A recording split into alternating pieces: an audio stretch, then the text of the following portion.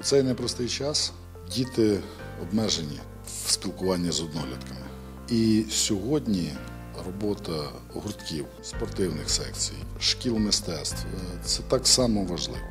Це є сьогодні нашим пріоритетом, тому ми будемо все робити можливе, щоб давати змогу дітям займатися спортом, навчатись, мати позашкілля. Позашкілля Білоцерківської громади піддалося критичним випробуванням через повномасштабну війну, ракетні обстріли та руйнацію енергетичної інфраструктури. Втім, розуміючи його важливість для розвитку талантів та здібностей наших дітей, робота позашкільних закладів відновлювалася, як тільки з'являлась така можливість. Першими почали працювати школи мистецтв та гуртки.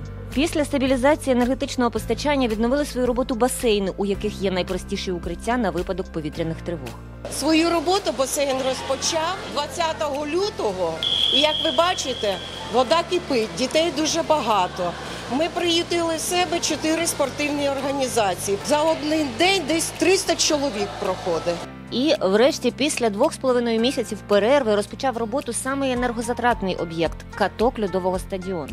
Близько трьох тижнів, як льодова арена розпочала свою роботу після важкого е, періоду енергетичної кризи, в якій була вся наша держава.